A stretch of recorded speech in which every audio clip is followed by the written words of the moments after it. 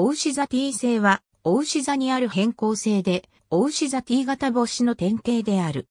ヒアデス星団の V 字型の最も、北、オウシザイプシロン星の近くにあり、星団の一員のように見えるが、実際には、ヒアデス星団より300光年ほど遠くにあり、一緒に誕生したのではないと考えられる。オウシザ T 星は、1852年10月に、ハインドが発見した。ハインドは、ヒアデス星団に望遠鏡を向けた際に、後に NGC1555 として知られる星雲と一緒に星図に記載されていない10等級の星を見つけ、変更星であろうと見当をつけている。その後、この星は変更星であることが確定し、オウシ座で3番目に発見された変更星として、オウシ座 T 星と命名された。膠着円盤に囲まれたオウシ座 T 型星の創造図。オウシ座 T 星は、年齢がせいぜい数百万年の非常に若い天体で、主系列段階に進化する前の構成、すなわち前主系列星と考えられる。地球からの距離は、およそ480光年である。オウシザ T 星の明るさは、発見されてから1910年代半ばまでは、10等級から14等級の間で大きく変動していた。変更はとても不規則で周期性は見当たらない。早い時には数週間で3等級ほど明るさが変化した。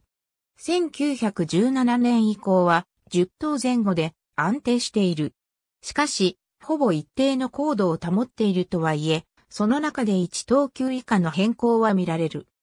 その弱い変更にはいくつかの時間尺度が存在し、長いものは年単位、短いものだと非単位で変化し、こちらも明確な周期性は示さない。変更が不規則で共通する特徴に乏しいため、オウシザ T 型星を考える上ではスペクトルが重要である。その特徴は、早期型のスペクトル型ではなく、水素、カルシウム、鉄といった元素の基線がとても明るいことにある。また、青周円盤の存在を示唆する連続光スペクトルの赤外超過も特徴である。オウシザ T 星のコードと水素のバルマー基線の輪郭の時間変化がどう対応しているかを長期にわたって調査した結果、オウシザ T 星が明るい時期には水素基線の幅が広くなり、しかも輪郭が急激に変化することがあると分かった。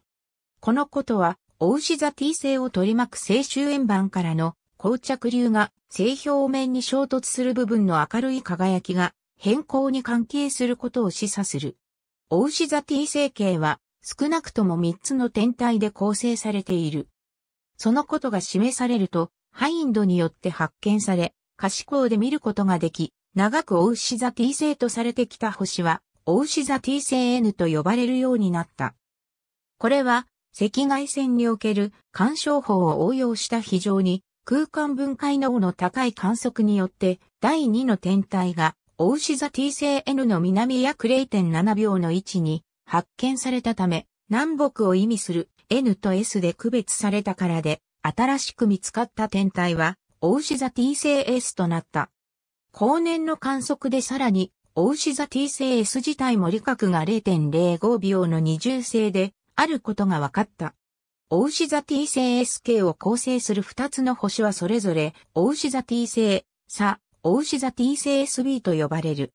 オウシザ T 星サと SB が分離できるようになってから、二つの星の位置関係が時間によってどう変わるかを調べ、その軌道要素が求められており、両者の間の距離はおよそ 12.5au、公転周期は27年程度と推定されている。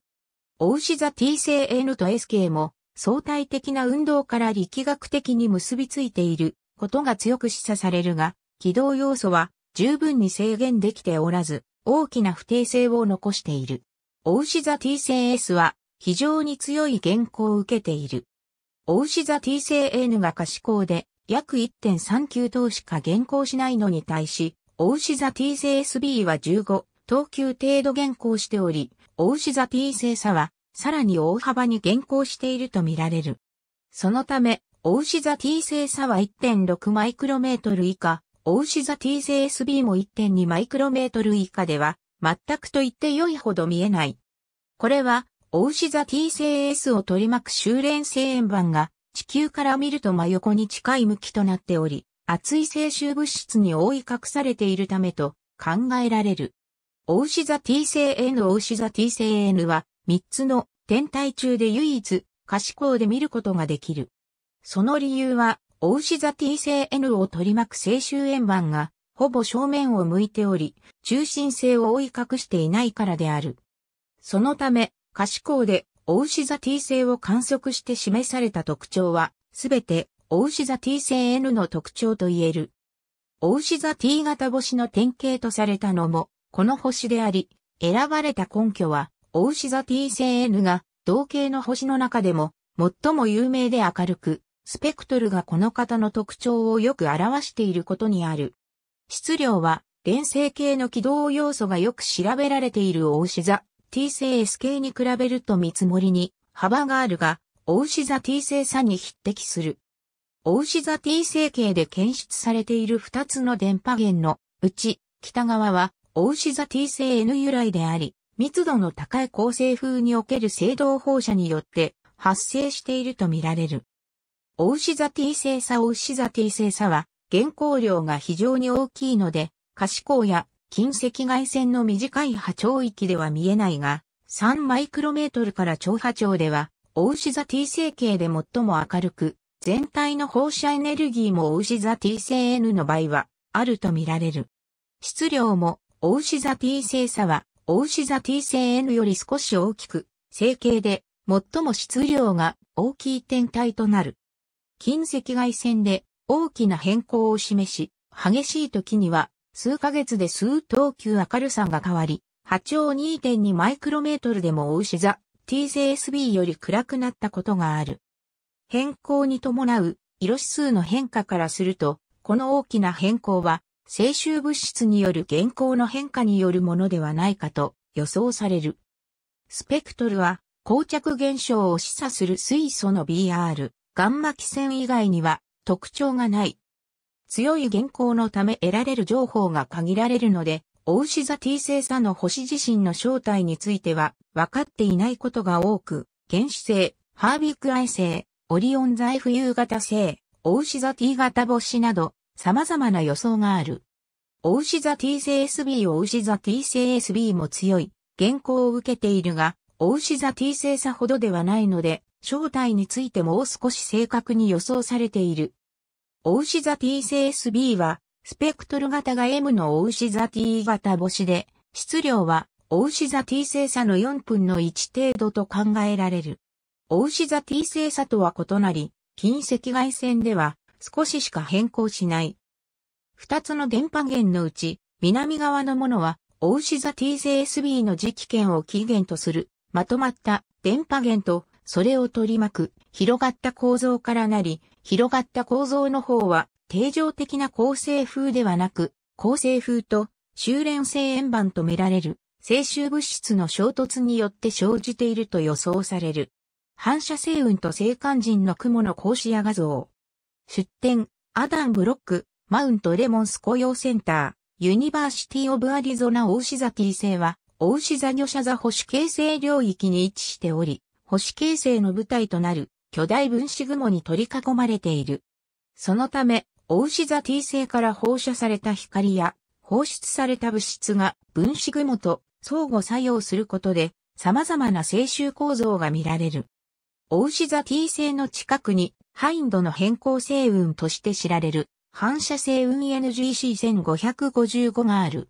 この星雲は、オウシザ T 星からの光を散乱して輝いているので、オウシザ T 星の変更に伴って明るさが変化している。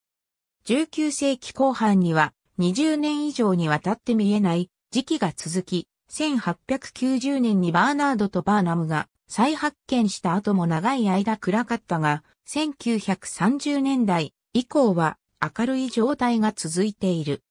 1868年には、オットー・フォン・シュトルベが NGC1555 の西4分のところに小さな星雲 NGC1554 を発見した。NGC1554 も大志座 T 星に関係があるとされるが、1877年には見えなくなり、シュトルーベの失われた星雲と言われる。NGC1555 の再発見と合わせて、バーナムは、オウシザ T 星自体を包む小さい星雲を発見した。楕円型で、見かけの大きさが4秒程度の、この星雲の核心は、ハービッグハロー天体であり、反射星雲ではないと見られる。オウシザ T 星の周りには、二つの双極分子流が見えている。一方はほぼ東西方向に伸び視線方向に近い傾き、もう一方はほぼ南北方向に伸び点球面に近い傾きで、それぞれ向きが全く異なっている。東西方向の双極分子流の西の端は NGC1555 に到達し、ハービックハロー天体 HH155 を形成している。南北方向の双極分子流もハービックハロー天体 HH355 を形成する。最初は東西方向の双極分子流がオウシザ T 星 N、南北方向の双極分子流がオウシザ T 星 S から放出されていると考えられたが、星により近い領域での水素分子分布の複雑な構造が見えてくるにつれ、東西方向の双極分子流がオウシザ T 星 S から放出されていると考えられるようになっている。ありがとうございます。